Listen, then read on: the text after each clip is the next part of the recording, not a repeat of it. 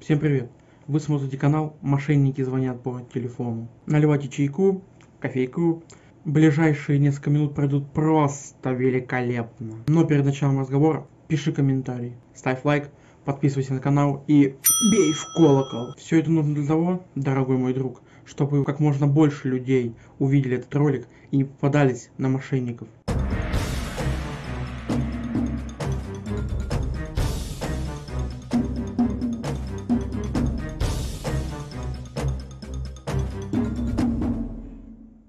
Приятного просмотра. Алло. Да, Юрий, здравствуйте. Алло, алло, это Владимир. Общались Да-да. сегодня с вами в первой половине дня, помните? А, да. А вы не могли бы минут через 20 перезвонить? Э, хорошо, давайте наберу вас. Через, через 10 могу набрать. Ой, все время эти самые ограничения, да? Ну, у меня же тоже по списку люди есть, всех по времени назначенному набираю. Ну, давайте на завтра перенесем, если вы так ограничены по времени.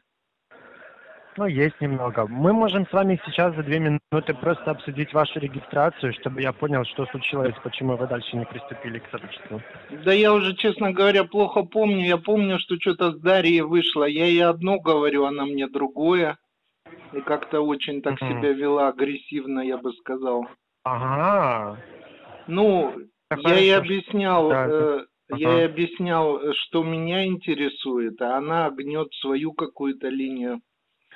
Я говорю, что я хотел бы инвестировать крупную сумму, доверительное управление передать. И меня это, я с этой целью собираю информацию и ищу какие-то компании надежные. А она мне все Мгм. что-то там про торговлю, про торговлю.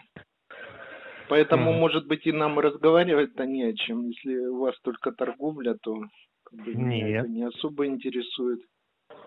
Нет, нет, Юрий, на самом деле у нас не только торговля. Смотрите, что вы имеете в виду э, под доверительным управлением? Ну, то, что во всем мире вроде бы име- имеют в виду, а что-то есть разное понятие. Ну, конечно. Вот для вас, что такое для вас доверительное управление? Ну, отдать деньги какой-то компании, которая надежная, зарегистрирована, имеет лицензию, чтобы она вкладывала на фондовом рынке, ну, если она может на каких-то других рынках, там, Ага. допустим, криптовалютном, имеет Мгм. разрешение, опыт. Мгм. А вы А, что имеете в вам виду? Смотрите, Юрий, просто на территории Российской Федерации доверительное управление счетом, да, запрещено. А каким это законом? Э, Номер закона вам не подскажу, но я знаю, что это запрещено. Вы знаете, Но я ни таком- одно утверждение не принимаю на веру. Если вы мне говорите что-то, это надо подтвердить. На каком сайте я могу это прочитать? Да, просто даже в Кодексе Российской Федерации, вот, А что такое А просто- Кодекс Российской Федерации? Это что такое? там, где законы пишут, Юрий. Да? Ну Есть да. такой Кодекс Российской Федерации? Ну да, это, по-моему, уголовный кодекс, это даже не, не административный э, кодекс. А, и там это прописано в. Уголовном кодексе? Да, Да? да, да, да, потому что, э, да, что? э, есть такие случаи, да, Юрий, когда вот люди дают в доверительное А управление как деньги. называется это преступление? Передача а, в доверительное управление, это статья такая в Уголовном кодексе? Нет, Юрий. Ну, Это вы же сказали в. Уголовном кодексе. Это называется мошенничество, Юрий. Как? Передача денег, я передаю свои деньги, и я мошенник? Э, Просто смотрите, вы в этом случае никак не защищены. У вас нет гарантий и страховки. Даже если компания с э, лицензией, как вы сказали, то даже в таких случаях очень-очень высокий риск потерять деньги. Так мошенничество, Поэтому- это с чьей стороны? Э, Со стороны тому, кому вы отдаете деньги. Ну, то есть я не могу Поэтому- свои деньги никому отдать, а если я просто кому-то дарю, это тоже Нет, ну вы-то преступление? можете, Юрий, вы можете кому-то дать, но э, очень высокий риск, что вы их потеряете вообще. А вы понимаете? знаете, я в прошлом году оформлял два договора доверительного управления с компаниями российскими. И как Это у вас, как? кстати, получилось? Это я преступление совершал или это они совершали? Нет, нет, не вы, не вы. Если они ваши деньги э, с ними делают так, что у вас на счету получается ноль, то это с их стороны мошенничество. То есть Вы же вам говорю, говорите, что это вообще запрещено уголовным Ну кодексом. да, правильно, я так и сказал. Вот, но я сказал, А что это разрешено, жестокий какие риск. операции Ну, Юрий, ну разрешены? как я могу договориться, если вы перебиваете меня? Нет, ну вы такие интересные факты сообщаете. Ну так я хочу же договорить, чтобы вы поняли аргументы факт. Ну хорошо, правильно? я понял, это запрещено. А какие операции разрешены? А, Есть компании, в которых вы можете просто копировать счет эксперта. То есть вы можете размещать свои деньги у себя на счету, и ваш счет подключается под счет эксперта, Ну, который у вас такая сделки. компания. Я-то имею в виду, Да, у у вас какие такое. разрешенные операции? Вот то, что я вам только что сказал. Вы можете у нас, как и обучаться, заниматься ручной торговлей. Мы вам может, можем составить инвестиционный портфель, либо же подключить ваш счет, на котором ваша сумма, под счет эксперта, который у себя на счету, у себя на торговой площадке открывает сделки. Они автоматически открываются у вас, и вы получаете прибыль. То есть все, что он закрыл у себя, закрывается автоматически у вас. Таким образом вы А получаете... я не прибыль. хочу сам торговать. А вы при этом и не торгуете сами. Я не Вы при хочу этом просто открывать в никаких счетов, понимаете? Ни у какого брокера. Никаких сделок или счетов. Счетов не хочу брокера открывать.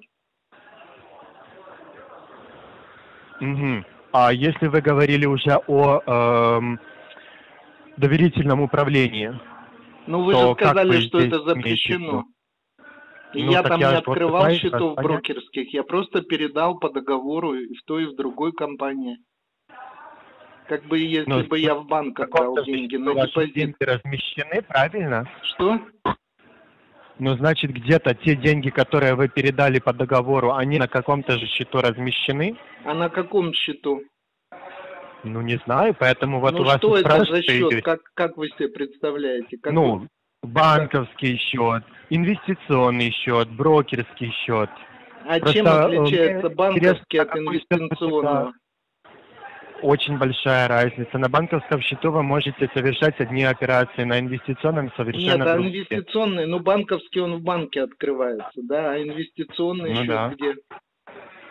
Как и в банке, как и в конгломерате, так и в любой инвестиционной компании, А так что и у брокера. конгломерат? Это что такое? Есть такие банки-конгломераты, есть обычные банки. Так а, а чем банк конгломерат от простого банка? И чем счет? Меня-то даже не банки, меня интересует, чем виды счетов. от- Вот я когда передавал этим компаниям, они на какой Мгм. счет попадали эти деньги? Но это Ну, явно я не не знаю, брокерский, там потому что... ну, должны изучить это. А? Но я не знаю, на каком счету. Ну вы же знаете хранятся, все законы них- Российской Федерации, вы же так уверенно все рассказываете. Юрий, я не вам увереннее еще говорить, если вы не будете меня перебивать. Смотрите, вы меня спрашиваете, на каком счету хранятся деньги, которые я год назад по договору кому-то отдал. Мне откуда знать? Хорошо, в в вашей компании на, смотрели, ка- на читали, каких видах счетов деньги хранятся клиентов? На сегрегированных. Это что означает? Это такой счет, который открывается в банке европейском, э, на котором хранятся ваши деньги отдельно от средств компании. И к, этим- есть- э, к этому счету имеете доступ только вы. То есть, и- и если я с вами э, вступаю в отношения и перечисляю деньги в Европейский банк, да? Да, да, и на нем хранятся ваши деньги в Ну, то есть сегрегированной вы, вы не российская банка. компания, да? Нет, мы не российская компания. Так а зачем мне связываться с нероссийской компанией? Какие преимущества в этом при этом у меня возникают? Очень большие, Например, очень большие. Вы работаете, я так понимаю, с российскими компаниями. ну я просто вы мне расскажите, я может не понимаю, в чем в чем э, выгода. от- Ну так, чтобы вам это рассказать, мне нужно понимать, работали ли вы с российскими Ну я же вам компаниями рассказал или про мой опыт с двумя компаниями, про незаконные операции. Ну, а я не знаю, это российские компании, не Да, это российские, вы не, российские не компании. говорили. А что это за компании? Как ну, называют? вам зачем вам название этих компаний? Чтобы еще конкретнее вам разницу показать, Юрий. Ну, это российские брокерские компании, которые занимаются доверительным управлением. У них есть лицензия на это. От кого? От Центрального банка, естественно, как у всех в Мгм. Российской Федерации. Правильно, Юрий, вот здесь вы правильно сказали, что любая российская компания, которая работает на территории Российской Федерации, у нее есть лицензия Центрального банка. И у вас Если должна быть, вами- если вы, если вы звоните российским гражданам. Ну, Юрий, как я могу вам это объяснить, если вы вот меня опять перебили? А в чем я вас перебил? Я же Нет, вам мне пытаюсь вообще им- говорить нельзя. так Вот я так говорю, а вы Ваша меня девушка, она точно не так же себя вела. Она мне не давала говорить. И при малейшей попытке мне что-то сказать, она тут же каким-то очень нехорошим голосом кричала, что я ее перебиваю и так далее. Так и мне молчать, ну давайте я слушать буду. Вы мне лекцию тогда Нет, Юрий, вам не прочитайте, надо я- молчать. Вы просто можете задать вопрос и послушать ответ. Вы же информацию ищете. Ну так я А вам я задаю вам вопрос, ответ. чтобы, чтобы мы не Ну, растекались видите, по вы опять перебиваете. Я даже не договорил, Юрий. Это Я очень слушаю, большая говорите. между- Это очень большая разница между российской компанией и международной. Мы являемся международным брокером, который работает с 13 странами. Это СНГ, Ближний Восток и э, русская Европа. И э, когда компания является международной, она не регулируется центральным банком, она регули- регулируется другим регулятором. Потому что такая компания, вот как, например, мы, мы не зарегистрированы на территории РФ, и у нас нет регуляции центрального банка. И это даже лучше, чем Так те я вас про компании, это и спрашиваю. имеют- На- тогда по какому праву вы звоните мне, российскому гражданину, если у вас нет разрешения работать здесь? Есть у нас разрешение, Какое? Юрий, только это регулятор совершенно другой, а не центральный банк. Ну, я-то живу на территории Российской Федерации, мне-то до ваших регуляторов никакого дела нет, и моим Потому что властям моей страны. регулятор. Властям моей страны они-то будут спрашивать с меня, скажут, ты почему сотрудничаешь с какими-то подозрительными иностранными организациями? Тут еще и Это вопрос дело совершенно не в налогообложения сразу возникает очень серьезный, и отчетности и так далее. Здесь дело совершенно не в этом, Юрий. У нас А регулятор другой, он тоже российский, Что? который также работает. Какой? У нас регулятор другой, не Какой? центральный банк, он также работает Какой? по... а, Назовите регламентиру- регулятор. Какой еще есть в России регулятор? Ну, Юрий, ну как я вам могу отвечать, если вы вот вы меня опять перебиваете, Юрий? Ну, в я же России хочу один вам регулятор, рассказать. это Центральный банк, насколько я знаю. Какой еще? Это есть и другие регуляторы. Какой? Э, Центр регулирования отношений на финансовых рынках. Слышали Такой о таком организации регуляторе? нету. Я смотрел специально, мне звонили, и ваши говорили, Есть еще такая э, как- какие-то ребята. Есть такой финансовый регулятор. Есть Я смотрел в реестре. Я смотрел в реестре, еще сегодня специально посмотрел. Такой организации в России нет. Есть такой сайт, но Есть значит такая это сайт жуликов. Есть такая организация, Юрий. Мы же 11 лет с ними работаем. Такой организации нет. Есть такая организация, Ну, Юрий. Мы сейчас будем вот так припираться, что ли? Я же Ну, верю а как- своим глазам. Ну так, а я верю с э, регулятору, с Ну, которым я хорошо, работаю. 11 пришлите лет. мне на почту ссылку в реестре, в реестре российских юридических лиц, где даны данные это, этой организации.